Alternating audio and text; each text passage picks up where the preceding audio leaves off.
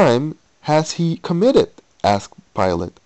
But they shouted all the louder, Crucify him! Then he released Barabbas to them, and he had Jesus flogged and handed him over to be crucified. Who is constantly referred to as Barabbas and constantly distinguished from the other Yeshua called Hamashiach. Notice that Barabbas was released and Hamashiach was crucified. So if Gomer Dubar is going to claim that his Bible teaches that Yeshua the Messiah was released and someone else crucified, then he must butcher the text in order to come to that conclusion. I must say, as far as evidence in any regard goes, I do not envy the position of Muslims. No, no, Radical, you'll get the mic in a few seconds. Let me just handle the hecklers. Obviously, this is a Saturday night raid from our Christian, oops, not our, our atheist Halloween masters here. We have our atheist Halloween masters who reject their Holy Ghost.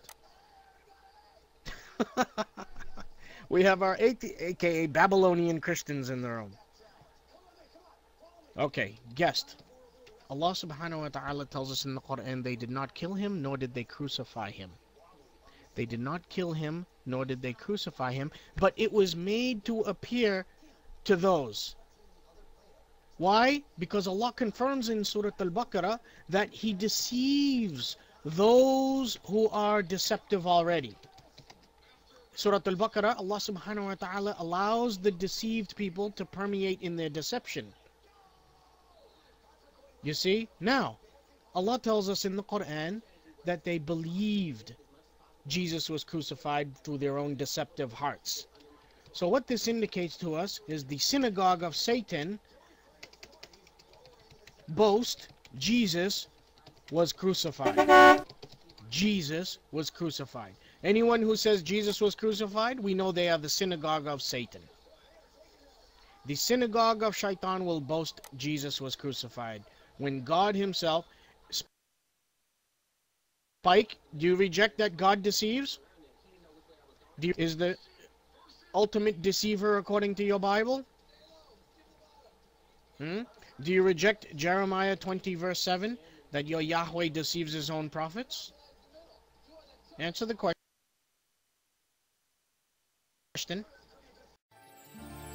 Let us come before him with thanksgiving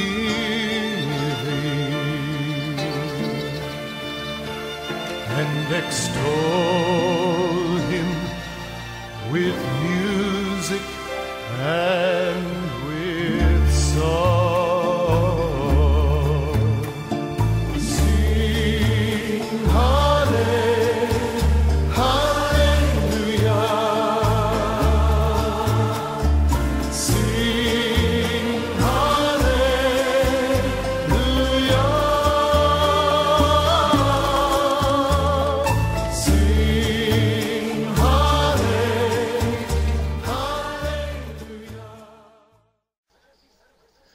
that the Jews didn't He said The Jews are not to blame for the death of Jesus. It is the Bible which blames the Jews for the death of Jesus.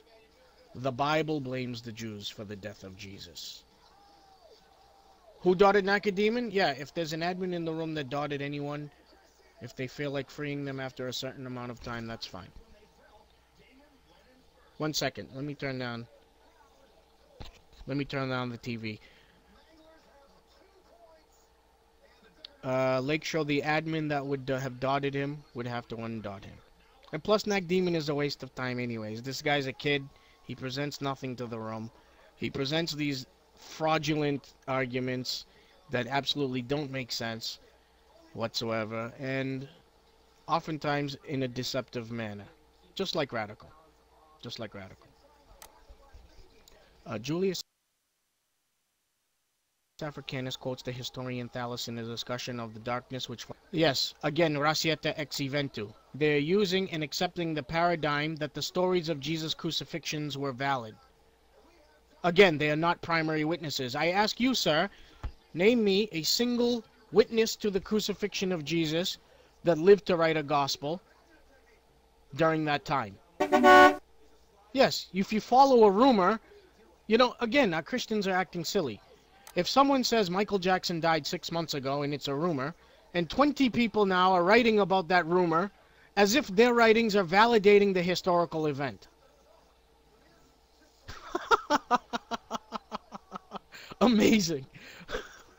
Amazing stuff. The crucifixion never happened, ladies and gentlemen. Jesus was never crucified.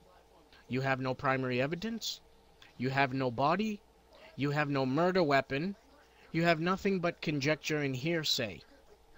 A rumor. You have no Roman documentation that identifies Jesus. Yet we have definite identification of over 6,000 crucifixions during the Maccabean period alone. Hmm? But my Bible speaks about about seven different Jesuses. Six or seven different Jesuses. One of them, who was the son of the Father, was freed and not crucified. The one who was the son of the Father was freed and not crucified. Isn't that interesting? Why did Allah deceive the disciples? Uh, as I already told you, ya Coptic scholars, the disciples, number one, weren't there. Only the synagogue of Shaitan were there. There wasn't a single witness to the crucifixion that was a disciple. Now, Christians will try to say John, and then we'll get into that later. But you show me a single disciple that was present besides John, hmm, who wrote a gospel. Show me, Coptic scholar. You claim the disciples were at the crucifixion. The disciples are claiming different. Show us. One second. Oh, yeah. Any witness outside of the disciples will do, right? So again, Gomer Dubar comes up with a criterion that will utterly destroy his own position. How many accounts are there in the Quran and the Hadith where there were no witnesses outside of Muhammad, but Gomer Dubar still believes they occurred? How about the night journey? Gomer Dubar prays five times every day because of some spurious claim of Muhammad that he was taken to a temple in Jerusalem which was actually destroyed almost 600 years earlier. Who witnessed that? Yet he claims that we can't say John was an eyewitness to any of those things even if the gospel tells us that he was indeed an eyewitness. Furthermore, this is what we find in his epistle, the epistle of John. That which was from the beginning, which we have heard, which we have seen with our eyes, which we have looked at, and our hands have touched. This we proclaim concerning the word of life. The life appeared, we have seen it and testify to it, and we proclaim to you the eternal life, which was with the Father and has appeared to us. We proclaim to you what we have seen and heard so that you also may have fellowship with us. And our fellowship is with the Father and with his Son, Jesus Christ. We write this to make our joy complete. And then John goes on to write about the atoning work of the Son of God. So according to Gomer, there were no witnesses of the crucifixion outside of the Apostle John, who doesn't count, and the various women who don't count. But besides all this, I have to ask again, if there were no witnesses to the crucifixion, then why does Gomerozdubar appeal to the Nag Hammadi documents as authentic writings of the life of Yeshua, since they too testify of the crucifixion, although Gomer didn't even know that.